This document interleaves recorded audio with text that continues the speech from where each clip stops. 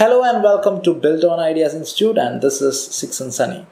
So, I have been uh, showing you some of the 3D architectural visualizations which can be done in Blender 2.8. And I've got a lot of queries on how to start using Blender and how to effectively shift from other 3D architectural visualization softwares into Blender 2.8.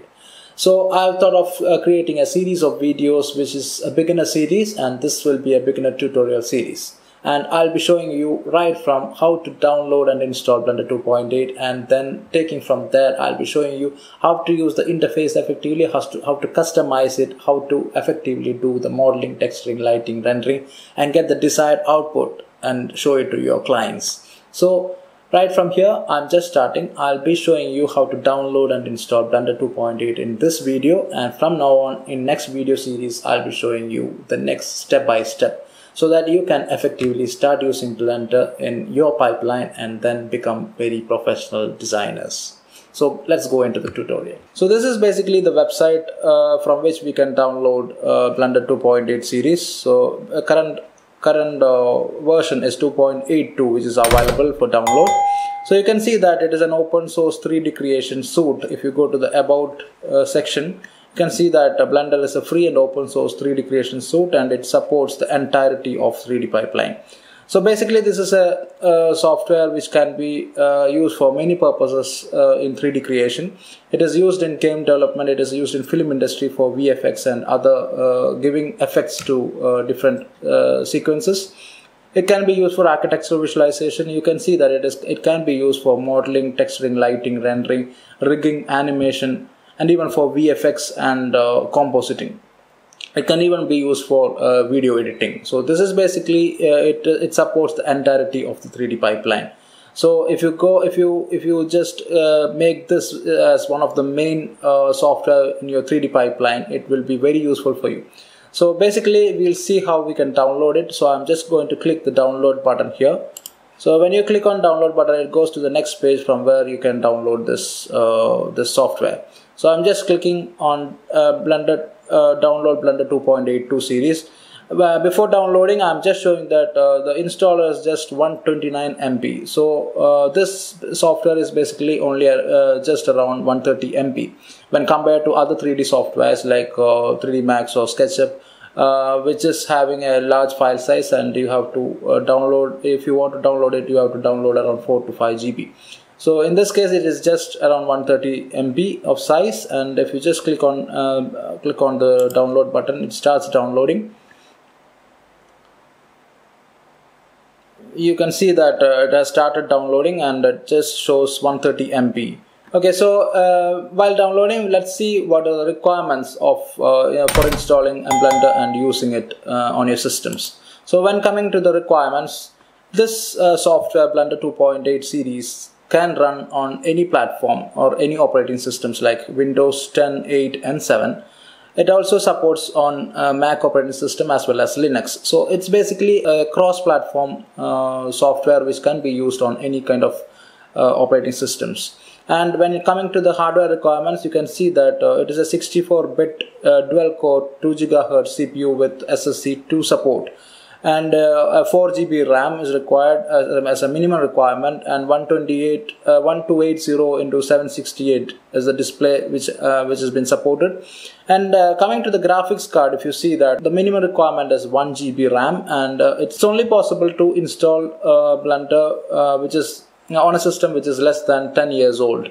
Because uh, if you if you see a system which is having a graphics card which is uh, more than 10 years old it doesn't support the OpenGL 3.3 so you want OpenGL 3.3 and above for installing uh, Blender 2.8 that is a basic minimum requirement uh, for installing Blender uh, 2.8 series.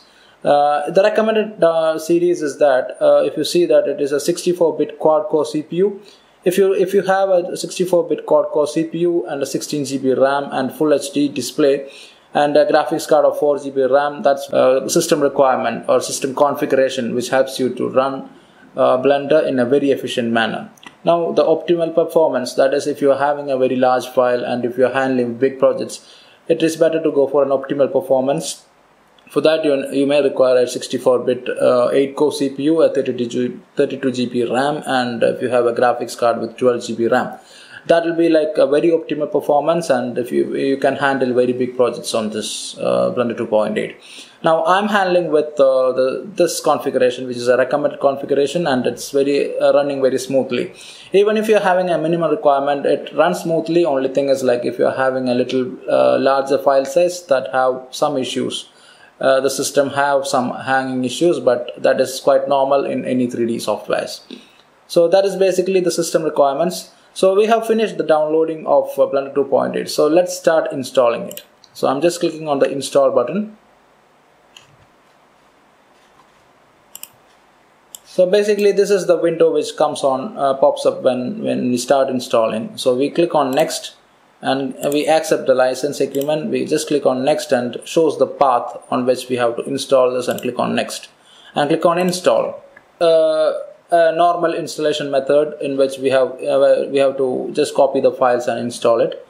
So this is basically getting installed. Let's wait for the install to happen so it just takes some uh, one or two minutes to get the whole thing installed and just click on finish and the installation is complete so now uh, let's uh, just open Blender 2.8. So this is basically the screen uh, which opens up when you open Blender 2.8 and this is Blender 2.82 so when we open it first, you can have a welcome screen on which you can see that there are uh, shortcuts which is available. Like uh, you, you can select the left key or the right key. So if you if you consider 2.79 and uh, prior series, uh, you can see that uh, basically the, the, all the functions are starts with the right button. So now uh, in 2.8 series, it is on the left button and you have the left selected as default you have other other uh, default items which has been displayed here. Also it shows uh, a, a, button to load the default of the previous versions. Like i have been using 2.81 previously. So uh, it is asking whether we have to load the 2.81 settings and then start with uh, the the interface. So if you just click on uh, click outside this goes out and you can you have a viewport here a single viewport and you can see that uh, it is having a cube a light as well as a camera in that by default so basically when you come to the viewport you can see that uh, there is a menu bar on top. You have a toolbar on left side. You have uh, the properties panel on the right side. This is the viewport in the center. And uh, well, you can see that if you scroll the center mouse button it gets zoomed. If you click on the center mouse button it gets rotated. And if you click on the shift and uh, click on the center button and move it just spans so this is basically uh, how we navigate in uh, blender 2.8 and uh, let's go into detail in the next video on uh, how to uh, set up the different aspects of blender 2.8 in detail in different videos hope you enjoyed this video very well if you have some queries kindly comment below also, please don't forget to subscribe this channel and click on the notification link next to it so that you get the next series of videos in our pipeline. Thank you.